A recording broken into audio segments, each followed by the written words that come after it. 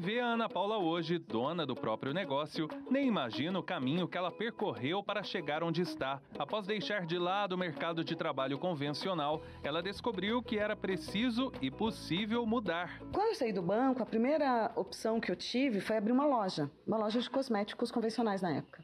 E eu tinha muita dificuldade que alguém pudesse me ajudar com o meu marketing. A partir daí, ela decidiu se capacitar. Estudou marketing, fotografia e edição de vídeos, áreas que a ajudaram bastante. Com os novos conhecimentos, passou a prestar serviço para outros empreendedores que, assim como ela, estavam começando.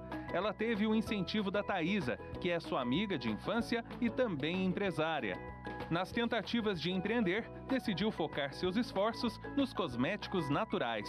Com a ajuda da amiga, que trabalha com alimentação natural para cães, encontrou um espaço físico onde começou a revender seus produtos e incentivar outras empreendedoras. Queria dividir um espaço com alguém, com uma amiga ou outra que tem, teria um, um, outro negócio diferente. Foi quando a gente encontrou essa casa aqui para alugar, porque ela está muito bem localizada. E quando nós vimos que a casa estava para alugar, eu voltei para essa mesma amiga, que é minha sócia, e falei: Ó, tem uma casa para alugar, o que, que você acha? Ela falou assim: cabe um coletivo. Eu disse: então vamos fazer. Quando surgiu essa casa, foi muito fácil retomar esse projeto, né? Ainda mais pós-pandemia, a gente cheio de contatos, tantas marcas lindas, e por que não começar já um retomar essa atividade. Com muita determinação, a Ana decidiu inovar, juntando mais de 20 empreendedores em um mesmo espaço. O conceito é conhecido como loja colaborativa. O Sérgio é professor e especialista em marketing de varejo e explica o que torna esse modelo tão rentável. Então, por que, que esse modelo dá certo? Porque a pessoa hoje, ela não vai em busca de uma loja em específico, ela vai em busca do quê? De comodidade. Grande parte do nosso cliente não sabe o que ele vai comprar. Ele vai em busca de algo.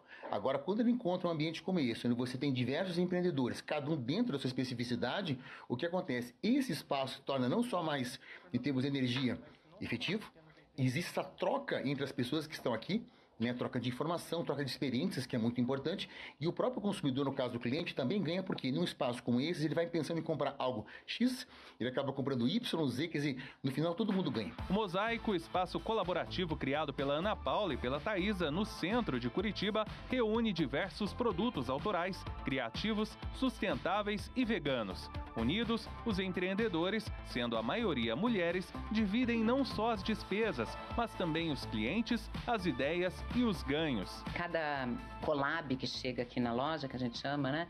É, a gente oferece também é, certa consultoria de como posicionar, porque tem marcas que já estão, nossa, super avançadas, já fazem um monte de coisa, e tem marcas que estão iniciando mesmo, não conhecem absolutamente nada, né? As lojas colaborativas apresentam uma série de benefícios para o novo empreendedor, como menor custo para investimento, menor despesa com manutenção, valor mais barato do aluguel, quantidade menor de funcionários, disponibilidade de melhores pontos comerciais, gasto menor com divulgação e a chance de realizar parcerias com outros empresários. O espaço colaborativo é ainda um cantinho para quem quer uma pausa para o café. A Daniele chegou ali por acaso. Eu vim na inauguração da Mosaico para trazer os doces da inauguração. A Ana me pediu e eu, claro, levo, tá? De contei, ela nem sabia que eu tinha fechado. E aí eu olhei e falei, Ana, e esse cantinho aqui dá um café, né? Ela falou, dá, pode vir. E aí eu vim. Andando pela loja é possível encontrar até mesmo um ateliê. É nele que a Willy produz as suas peças, que são comercializadas dentro do empreendimento coletivo. Aqui é onde a coisa acontece. Se eu tô em casa, que eu gosto muito de estar em casa, no meu ateliê em casa também, pintando, eu fico muito isolada. Por mais que eu queira ficar imersa assim na minha produção, faz falta essa troca. A Késia também descobriu, graças a Ana Paula, um lugar especial para montar seu negócio. Ela, que é consultora de imagem e estilo, trabalha com um sistema conhecido como moda circular.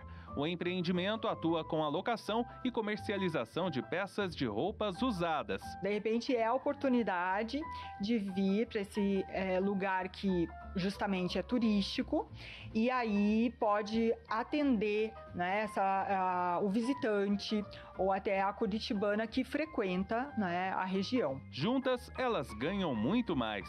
Cada uma sabe a importância de colaborar. A gente vive em sociedade e eu acho que quanto mais consciência você tem do colaborativo, da, do, da sua comunidade, isso se transforma, faz a sua vida se transformar numa coisa melhor, né? Esse coletivo é um coletivo não só de negócios, de marcas, de é, vendas, né, de produtos, mas sim um coletivo de autoestima, de amor, de carinho, de companheirismo. Isso é muito bacana.